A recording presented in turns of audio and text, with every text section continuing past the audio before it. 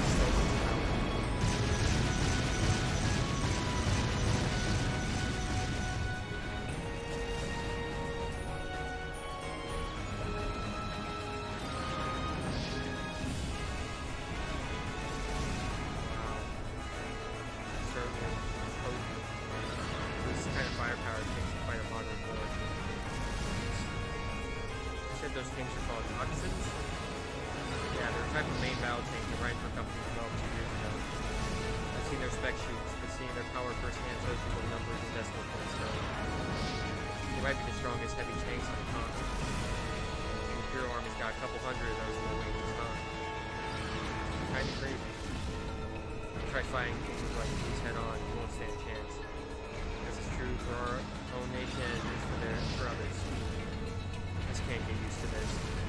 Just the sound of the artillery firing is enough to make me start shaking. I don't think that's something you should get used to. The sound of guns in warfare ever stop bothering me, I'd be worried. I guess this is another kind of strength.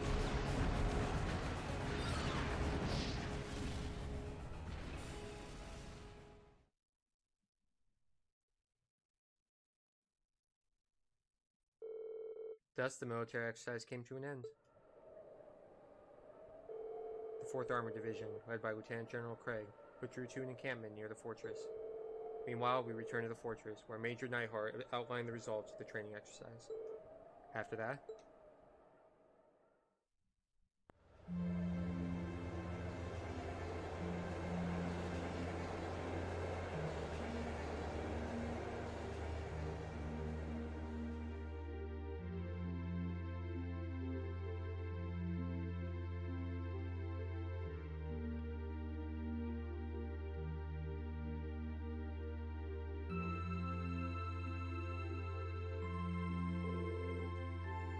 sorry you had to wait for us to finish.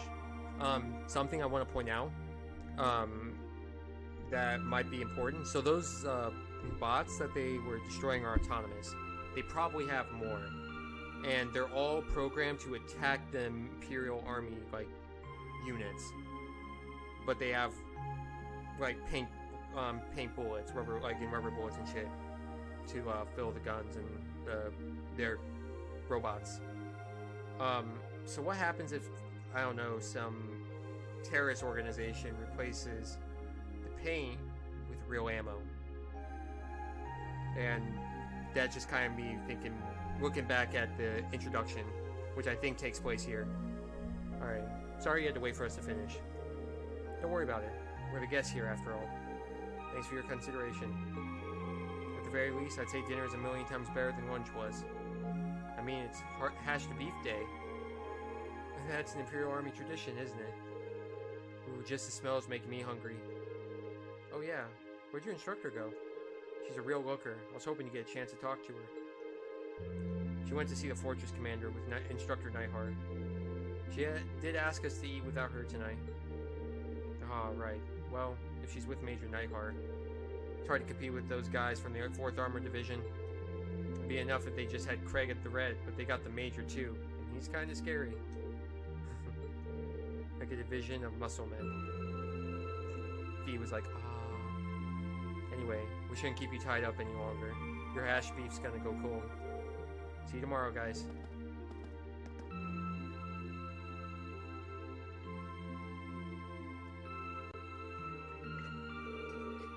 Wow, it's actually delicious. It's like nine day compared to what we had for lunch. You're telling me.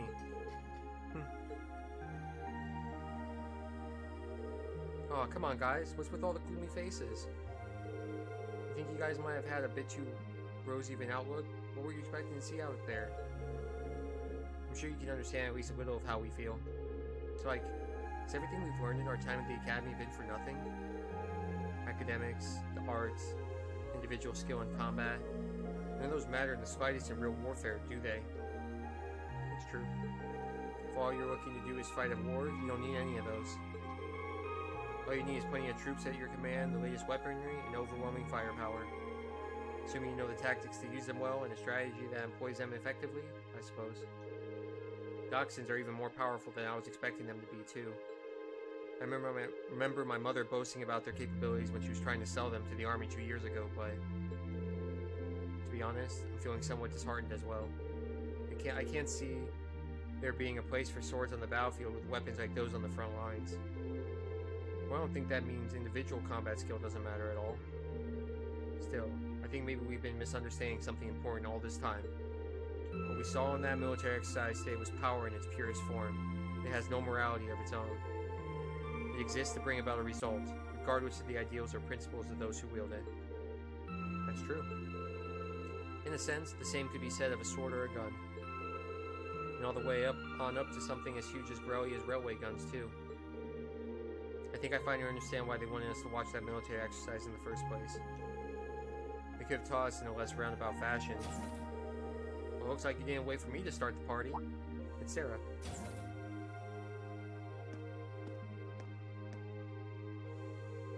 Instructor Sarah? So you spoke with the commander? Sure did. I've got up-to-date info on the trade conference too, as well as all the latest on the terrorists. So there's new information about the Imperial Liberation Front? Anyway, before I get to that, let me explain what you'll be doing tomorrow. In the morning, you're scheduled to participate in the Imperial Army's physical fitness training. In the afternoon, you'll be attending a special lecture, where I'll bring you up to speed on that info I just mentioned. After that, you've been granted special permission to view the railway guns. I see. Looking forward to that. Sounds like we got a pretty packed schedule. Well, we did bring you all the way out here, so we might as well make the most of it. Every nation possesses power in the form of a military, whether that military is large or small. Garrelia Fortress just happens to have the power in a very striking, easy to understand form. As students of Military Academy, you have an obligation to know the scale of the power. The Empire of Erebonia wields at present a power you might one day be in charge of yourselves.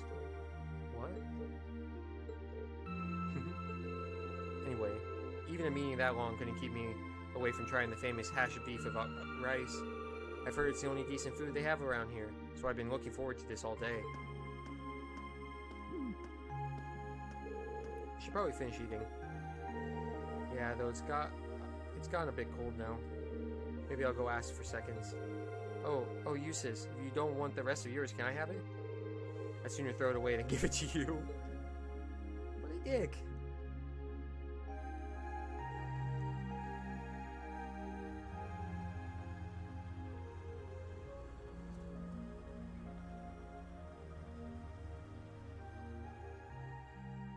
So, I know that you can romance people in this game, and it's completely off topic, but a part of me kind of wishes that um, there was a canon relationship, like, um, and like like a relationship that's forced throughout the games of um, Rean and Elise, because like we're kind of seeing here with all the characters, kind of like who they mesh well together with, and um, like as though they're like in their own form of relationship, and they have like Elliot and Gaius, um, which I I wouldn't expect this since um I don't think um, gay or lesbian couples in in Japan at this time would be really accepted, but anyway. It would be kind of interesting to see like Elliot and Gaius together, Fie and Laura, um, and then like when they're older, I, like I will repeat that when they're older, and like um, uh, Jusis and Millium, like Millium, like they all like really mesh together very well. So anyway, okay, that should do it. All right, that covers today, today's quota. Whew, I'm looking forward to a nice long bath. Well, you know how every time there's a military exercise coming up, the workload gets pretty crazy like this? Still, at least managing inventory has gotten a lot easier thanks to the Orbital Net. They've got everything hooked up on the network over in Crossbell, right? Wish the Empire would get on that a bit more. Think of the utility. Well, from the sound of it, you need a special equipment. You need special equipment to send signals through a wired connection to make use of it. And considering the size of the Empire, it's probably going to be quite a while before it's widespread thing here. Huh? Normal mail? Looks like it's from HQ. Oh, you gotta be kidding me. This right here is the problem with the orbital net. There's no such thing as off hours when they just send you orders round the clock. Huh? What's going on? So get this, they're planning on doing some extra exercise tomorrow. That means we gotta outfit 20 Oxens with C units by tomorrow. 20! Seriously? Might as well start up another pot of coffee. We're in for an all-nighter for sure. Do we have that many C units left? Actually, another lot came by freight just this evening. Exactly 20, if you can believe it. Guess we'll just have to get it done. Crap, at least let us take a shower. Gonna head down to the mess hall and grab some snacks. You want anything? What are C units? Is that the combat units? Like the automated combat units? I don't know. But them sending it pretty late seems kind of fishy. 8:31 Tuesday.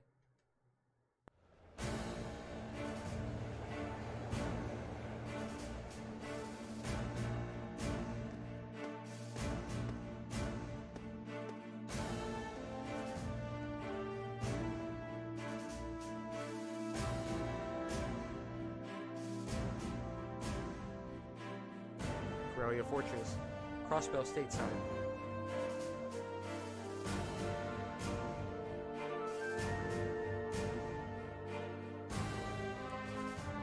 That is terrifying. So the orbital guns literally just come out the sides? At last, after what seemed like enough adventure to fill a week, we reached the final day of our field study. Over in Crossbell State, they were busy preparing for today's keynote session at the trade conference. We spent the morning running through the Imperial Army's physical fitness program alongside some of the soldiers. And after completing it, no easy task, I might add, we sat down to a lukewarm redux of yesterday's lunch. That afternoon, during a special military science lecture, we were presented with a confidential report on the terrorists.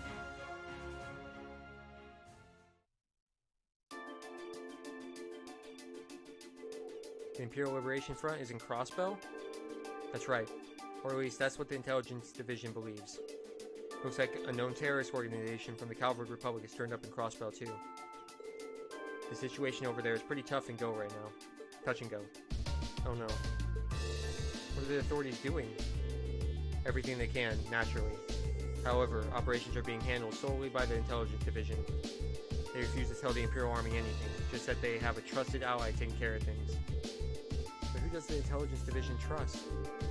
You gotta know something about this, right, Short Stack? Well, I do, but I can't really tell you anything.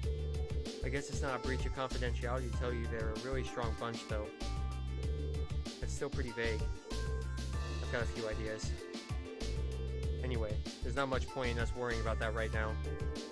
The bigger issue is our terrorists of the, of the hour, the Imperial Liberation Front, are a bigger crew than we thought. Big enough to be in possession of a state-of-the-art military airship, at least. Seriously? An airship? Can we assume Reinford's the manufacturer then? Correct. Just how something that large found its way into the hands of insurgents is currently unknown. But it seems to be a high-speed model, different from the heavily armored types favored by the Imperial Army.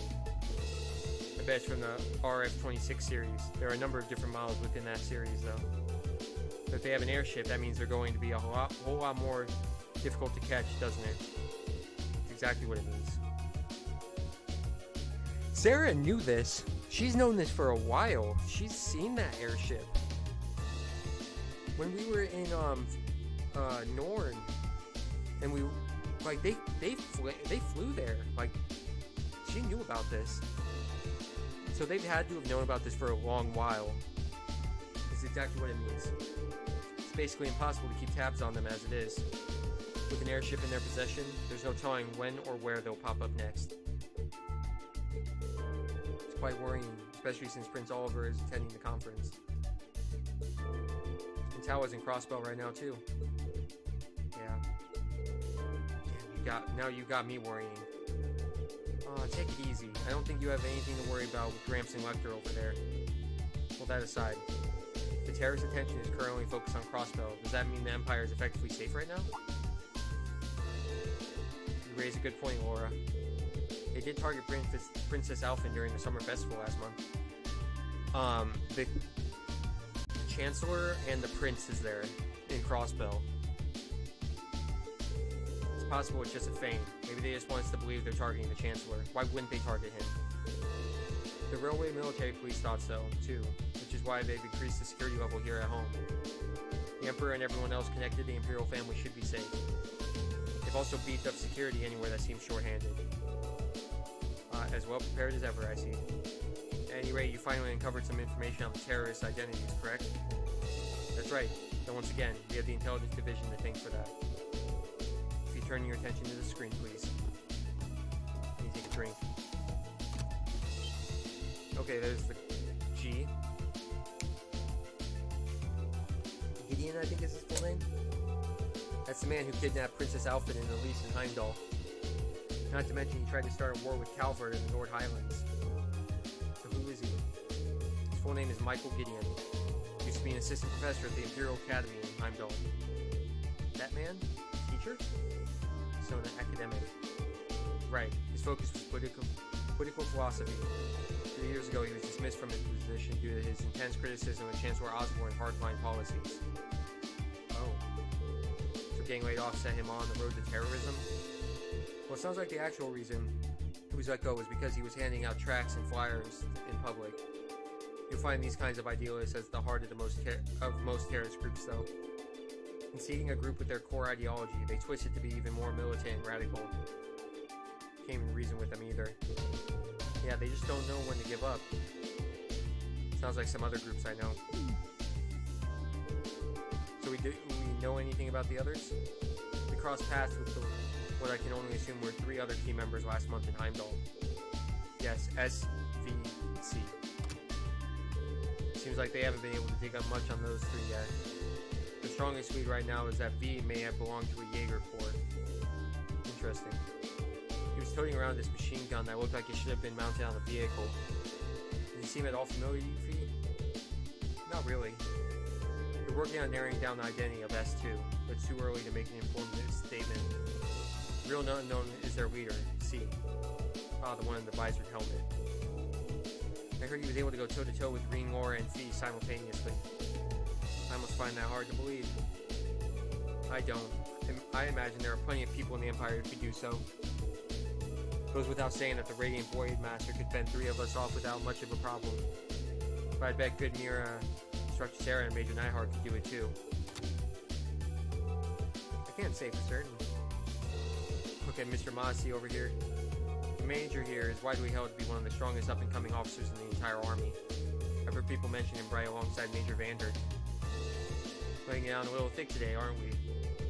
Going by the family name, it seems safe to assume he's a practitioner of the Vander style swordsmanship. No doubt Lieutenant, a relative of Lieutenant General Vander from Zender Gate. While I wouldn't question whether I can stand on equal footing with him, Major Vander is unquestionably strong. He was my classmate during my military academy years, and quite close to Prince Oliver as well. In fact, he's in Crossbell right now, serving as the prince's bodyguard. Whoa. Well, that's reassuring to know. But getting back to the point, it's not just C. We still have know very little about their group as a whole. Even their source of funding is a mystery. So even if they're a no-show in Crossbell, I doubt we've heard the last of them. In call it coincidence or fate, but you put the kibosh on their schemes twice now. It's entirely possible they come to hold a personal grudge against you, so be careful. Right. Yeah, we'll be sure to keep that in mind. Millium's just like dot dot dot. That's probably why she was put in the class. Eventually, the afternoon series of special lectures came to an end, and it was finally time to get a peek at Garrelia Fortress's infamous railway guns. 3.30 p.m., obviously, because it's 15.30. You'll now be shown to the area where the railway guns are housed. All what you're about to see is highly classified. I presume you're aware of the protocol surrounding confidential intel. Yes, instructor. I- I'm getting kind of nervous. Me too. Guys, it's just the railway guns. I've seen them before. They're nothing to get all excited over. Orion, this part of the field study is a mandatory for you. If you'd like to stay here and wait for us, that'd be more than okay. Jeez, I'm kidding. I don't want to be the only one left behind. Uh, excuse me a moment. This is Neithardt speaking. Yes, hello, Commander Walter. Wait, you were one to speak to me? Of course, put him through. What could you possibly be calling about at a time like this? What? What's happening? He's taking a call from someone outside the fortress on his Arcus? Sure looks that way. Understood. We'll be on alert here as well. Yes, right. Take care out there.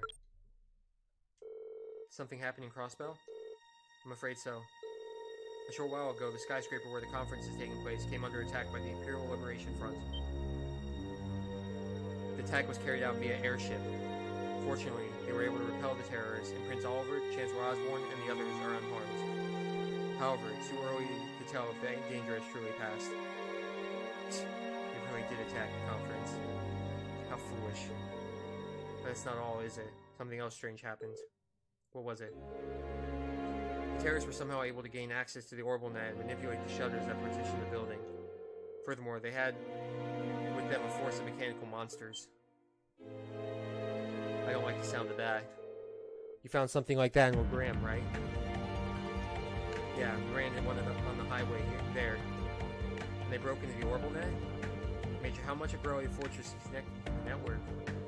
At present, it's only used for inventory and equipment management by the maintenance staff. What was that? A tremor? It came from right below us. Below? The hangar.